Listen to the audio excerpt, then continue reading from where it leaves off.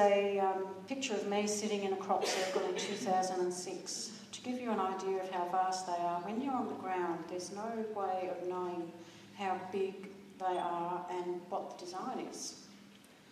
That is the crop circle I was sitting in. Wow. Unfortunately, I can't show you this footage, but here is um, my own photograph of the crop circle which appeared in 2007, the largest of that time. It's 1,033 feet from top to bottom. And it's one crop circle which appeared in a very short space of time, seven minutes, Wow. on the 7th of the 7th 07.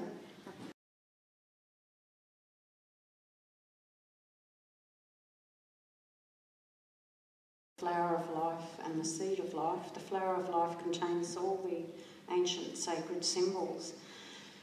Inside and in the God's eye of the Vesica Pisces is another ancient sacred symbol, the seed of life, which is derived from the flower of life, as I've said. Um, and the seed of life is not merely a decorative motif. It was revered in ancient Egypt in 10,500 BC, in Turkey, Scandinavia, China, Greece. Meta- the Metatron's cube and all the Platonic solids and Fibonacci spirals all derived from the flower of life geometry. Um, the seed of life, which is in the centre of this symbol, um, are linked to the biblical prophet Enoch, the archangel Metatron, and the six days of creation. So it's a symbol of creation. And the Vesica Pisces is studied in the Hermetic Kabbalah, and it has been called a symbol of the function of opposites and a passageway through the world's apparent polarities. There's been a lot of crop circles symbolic of this very concept. Well, when I heard that this was in Burra, New South Wales, which is near Yass, I went, jumped in my car and immediately went down there to find it. I didn't know where exactly it was, but I thought, well, Burra was only a small country town. People are going to know where this is. And um, I spoke with all the locals, the businesses, the farmers, and nobody even wanted to know what crop circles were or where this was. I searched for two days um, in that area and could not find it. And so um, I spoke with businesses and said, well, can you help me find some pilots or some crop dusters helicopter pilots? So I was ringing up helicopter pilots, and um, as soon as I mentioned crop circle, they hung up on me. And I did find out that there was a local light um, aircraft pilot that lives near Burra, who I visited myself that weekend. And I said, I would just love you to fly me over Burra because of crop circles. He didn't know what crop circles were, but he patiently listened and he was attentive. And I showed him some amazing images and I told him a little bit about the science behind the crop circles. And uh, he said, "Well, sorry, I won't be flying you over." And uh, I said, "Oh, well, if you if you hear of them, please be in touch with me."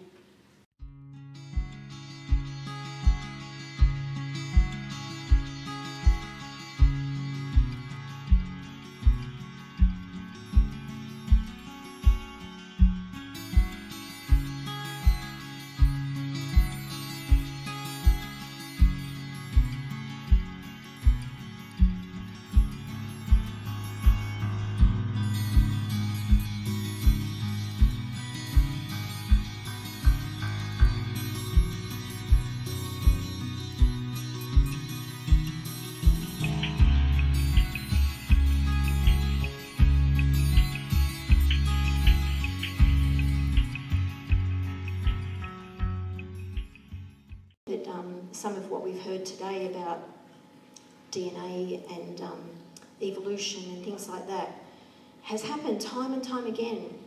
If you look at the fossil records, there have been spikes where so many evolutionary things have speeded up and come together. Lots of new species have happened all at once in that little tiny part of that of time on our planet.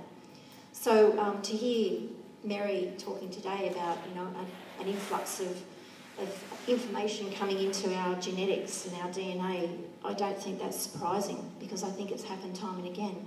We have leaps and bounds throughout our history, um, not necessarily as human beings, but through all the other animals that have inhabited our planet since creation.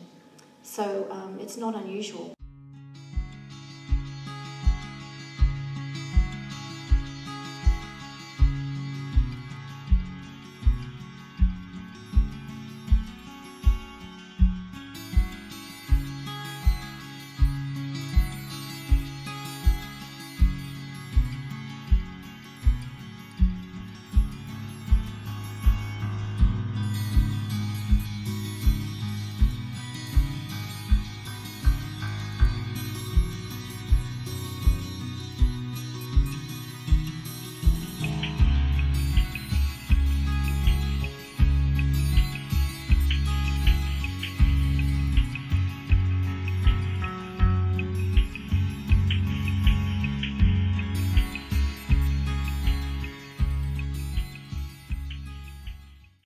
So, The Awakening, a New Era for Humanity, Star Children.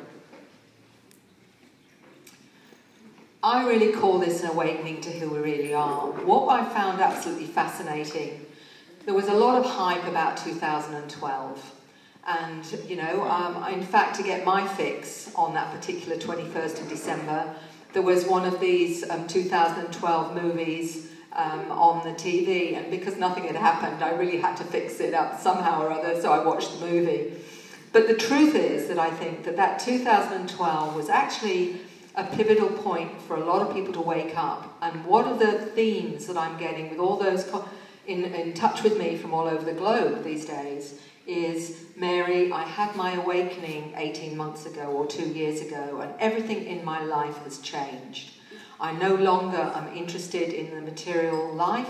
Everything that I used to find important and interesting is no longer interesting to me. And these aren't new agey type people at all that have been involved with this. Often it's been a lawyer or it's been um, a real estate agent or it's you know people you don't necessarily connect to this, um, as well as many people you know from those in the psychological field, the healing fields, and what have you. And that's the term they use. I had my awakening. And sometimes, like Megan, it was, you know, actually seeing those UFOs as part of her catalyst for really embracing the new paradigm. And for many, it is that. It's actually seeing the UFO for the first time and finally realizing we're not alone. Crop circles are part of that awakening, and many of the other phenomena, like orbs that we're seeing now on cameras everywhere, all these things are part of those triggers for awakening. But let's get into the children. One of the things that always stuck with me with Mike Oram, this lo lovely gentleman who's, who's English, who I got to meet some years ago now, and he wrote the book, Does It Rain? In other dimensions. And Mike has been a UFO researcher, but also an experiencer with light beings all his life. And the thing that the children do that, are, that is absolutely profound, they'll say things that are completely out of the norm. And this is what Mike said to his mum. He said, Mum, something of great importance is going to happen. It will not happen in your lifetime, but in mine. It will affect all units of consciousness, whether they are mineral, vegetable, animal, or man. It will not happen in your lifetime but mine, and it's to do with global consciousness, a vast change in consciousness. The energy is heading this way, and the essence of this energy is light. And the energy will repair our DNA. It will make us complete in who we really are. This is what I was trying to tell my mother and he was four years old.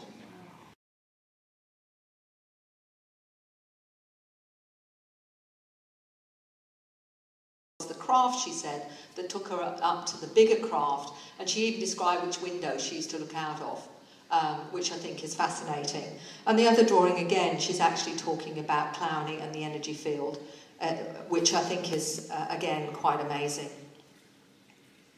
What was also interesting was her little brother also saw Clowney. There's Clowney. And that was the craft that he drew. And what was interesting is he's drawn Clowney with three fingers, and also the legs are all fuzzy because it, it floated, which is really, really fascinating. And this book here was one at five years old he insisted taking to bed with him, even though he couldn't read it. And they, his sister also ended up taking it, they'd alternate between them with this book. And for, mother never knew why they needed to take that up to bed with them. But what did blow her away, and we get into the paranormal here, which is fascinating to me, is that one day both children came down with the same book. So there were two books instead of one. Now, part of this is just what goes with the territory. You know, it's con- continually confronting our third dimensional world.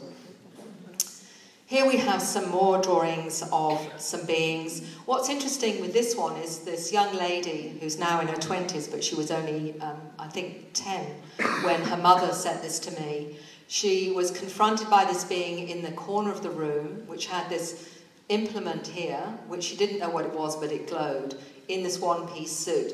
And she was obviously very, very scared. But what was interesting here is the flathead, and what's interesting in the one of the 13 year old is the flat headed beings, and then, of course, the egg shaped being as well. So the children are drawing what they're seeing.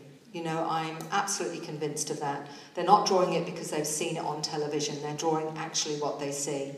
In Children being born, and I think very likely most people in this room are part of that, that phenomena, really, whether or not you're, you know, seven or eight now or 78 if you're coming here, you're probably part of that program, which is part of the awakening of our species.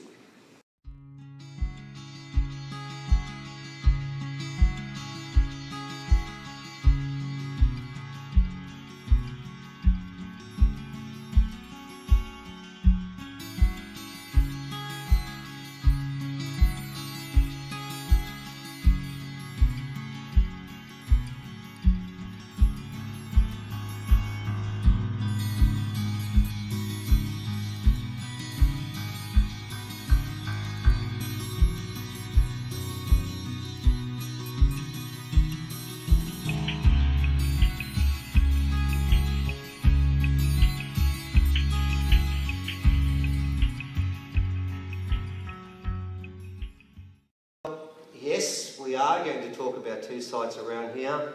But to begin with, ladies and gentlemen, you are going to get for your last two periods of the day a science lesson. You are going to get a science lesson. And let me explain why. And I'm going to have to walk around with this thing because I don't think still do I? Never. Uh, you're getting a science lesson simply because I'm a high school teacher and I know what anyone that's been to an Australian school system has been through. And I want to share something with you before we start. I've been working on app studies. I helped write the course in New South Wales for the senior, um, for the high school, for the senior course there. And I was asked to go back, well, about 10 years ago, high school. And I've been working with the elders, and they've been showing me a lot of the stuff we're going to share, a lot of stuff we're going to talk about over the next two days. And I offered this to the Department of Education for free, all the research we've done.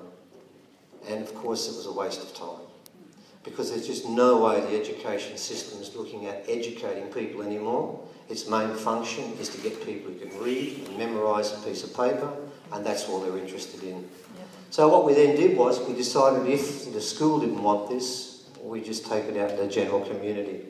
And that's what we're doing. But to do this, to explain to you some of the original history that we're aware of, we have to clean up some misconceptions we have to clear up some of the things you've been told that the mainstream media have been telling us for quite some time, which is wrong. Now, what we're going to try and do, and it sounds a bit grand to make a statement like this, is we want to tell the whole truth and nothing but the original truth. Now, the Aboriginal people, we don't call them Aboriginal people, we call them original people. And for those people who don't know why, because the word ab means abnormal, abhorrent, and it's not something the original people feel comfortable with. So we do call them original people. And what we're going to do, and I'll put this back because I'm going to bounce in and out of here. No, I won't. I'll hold on to it. is we're going to start I want to start with the science lesson and start at the very beginning. And the beginning starts like this. There are two different theories about how original people are part of this landscape. The first is the original theory. The second is the theory of science of mitochondrial DNA and Y chromosomes and genome programs. We're going to look at both. But whenever we do work, whenever we go on site, we always start by doing something rather unusual. When we go into a site, we don't walk in with a preconceived idea. We don't walk in there with an idea what we think is there. We walk in with a clean slate. And we speak to the original elders and we ask for their guidance. And once they give us that guidance and we do something unusual, we don't question it. Now, I want to explain why we need to get these parameters right. Some people say to me, Why aren't you looking in books? I'll tell you why. Nearly every history book you've read was written by the winners. And if you read about those winners, you won't want to listen to what they've got to say. They will sanitize and change their history to suit themselves. The original history is different because of one important factor that you need to understand. When an original tribe fights another original tribe, they will find common ground that doesn't belong to either tribe. They will fight, they'll get it done with, they'll walk away, and the whole thing is done. Nobody goes onto their land to steal it. Nobody goes on their land to rape the children or to harm people. It was done on the battlefield, man to man, and then it was finished. And guess who called the fight off every time? The women. They decided when it was finished, not the men.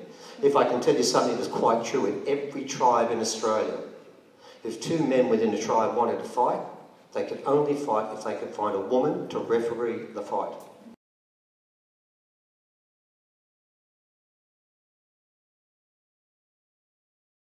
I'm going to get Evan to read two quotes from the paper. This scientific paper was done last year. It's not old. It's brand new. And the two things that are read there make the whole thing. It just kills the out of Africa theory. And that's what they've said here. They've said the out of Africa theory is now dead. Can you read the first one, please? A more plausible interpretation might have been both current Africans and non Africans descended separately from a more ancient common ancestor, thus forming a proverbial fork. A region where this downstream common ancestor arose would not necessarily be in Africa. In fact, it was never proven that he lived in Africa. Not as they're not proven. Wait until you hear to the next part of what was found. This is what they then did. They decided, okay, there are 13 distinct African haplogroups, which is Y chromosome groups, and they did a comparison. And they didn't compare against original people, they compared against everybody that wasn't African. That's European, Caucasian, Asian, original, and any other race that may have been around at the time. And this is what they found. Not one non African participant out of more than 400 individuals in the project tested positive to any of the 13 African subclades of haplogroup A. Okay, so that, what that means is there are 5,200 chances to get a hit. They couldn't get one. Don't tell me we came from Africa. None of us did. Now, what they also did was this chart. And the chart is interesting simply because, oh, you've got a pointer. Could you go up to the one on the left? That, no, no. Oh, God, he's hopeless. I'll have to point it. Right. See that black mark there? There's the Africans. But can you see something? They're not derivative. They come out of something that's derivative, further down, at 180,000 years. Now, this is easy. I don't need to be a brain surgeon to work this out because, okay, we know it's not African because there they are. And see how they make a group of three, four? They're not the main player here. It's the other group. Now, who is that group? It can't be African. My mitochondrial DNA says it can't be European and it can't be Asian. I'll leave it there. There's only one race left the original people. That's all you've got to, to fill in that gap. Because the mitochondrial studies made it clear. They came into existence 40,000 years ago. And the Africans, 120, it's done. You're only left with original people. So, what we now have, and I know we're doing a science lesson, I do apologise for this, but now we've got, and I won't go any further on Y chromosomes, and I won't do any more mitochondrial DNA. We now have a definite story here. It's not right. It's not out of Africa. It's probably out of Australia, but we haven't made our case yet. But we will with the next part. Now, what we need to understand is I need to give you a setting of what the world was like 100,000 years ago.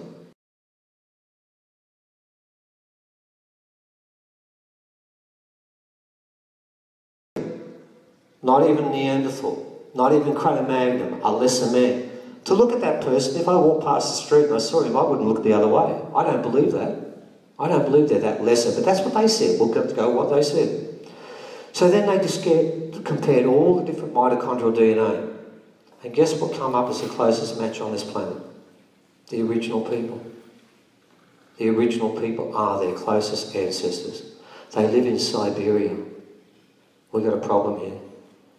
Which means for them to share mitochondrial DNA, there's only one way that can happen. And it can't be through postcards. well, you've got to visit. So what they said was, and this is what they said, being scientists mainstream, they said, oh, well, the Denisovans must have got in a boat and sailed to Australia. I thought, oh, you guys are making it up, because you read their books, they'll tell you Homo sapiens was the first one to sail to all the continents. Now they're saying a lesser species did it. It's a poor call. But it gets worse for them. Because we now found that Denisovans live in Spain 400,000 years ago.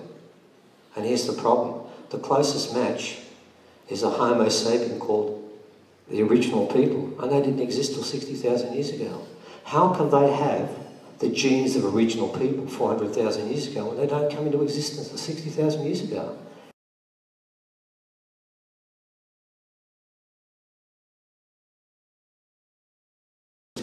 Different they've never found before.